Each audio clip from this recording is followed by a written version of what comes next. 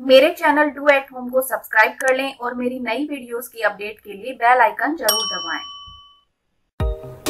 Hi everyone welcome to Jagriti to at home आज मैं आपको बता रही हूँ तगार बनाने की रेसिपी यानी कि बूरा चीनी बनाने की रेसिपी तो ये बूरा चीनी जो होती है, वो पेड़ों में और लड्डू में यूज़ की जाती है, जिससे कि उनका टेस्ट जो है वो दुगना हो जाता है। तो आइए शुरू करते हैं। बहुत ही आसान सी रेसिपी है।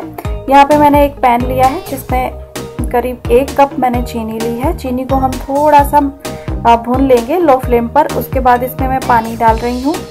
तो यहाँ पे मैंने दो बड़े चम्मच पानी डाल दिए हैं और इनको हम अच्छे से मिक्स कर लेंगे। वैसे तो नॉर्मली जो बुरा चीनी है, तगार जो है वो मार्केट में मिल जाती है, पर अगर आप घर पे बनाना चाहते हैं तो उसकी रेसिपी इस तरह से होगी।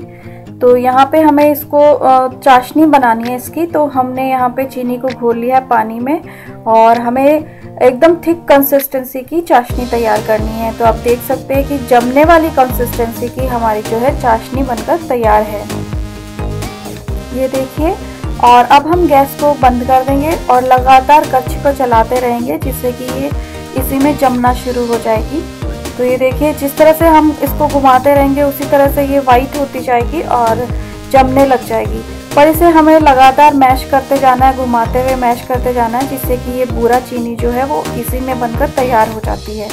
तो बस यही है तरीका पूरा चीनी बनाने का। बहुत ही आसान है और ये देखिए, हमारा पूरा चीनी जो है वो बनकर तैयार है। तो फ्रेंड्स आई होप कि आपको ये वीडियो पसंद आया होगा। तो वीडियो के नीचे जो लाइक का बटन है, उसे क्लिक ज़रूर कर दीजिए। फ्रेंड्स एंड फैमिलीज़ में शेयर कीजिए और मेरे चैनल को सब्सक्राइब कर लीजिए, जिससे कि नेक्स्ट आने वाले वीडियोस आप इजीली देख पाएँगे। और ये वीडियो देखने के लिए आपका बहुत बहुत धन्यवाद।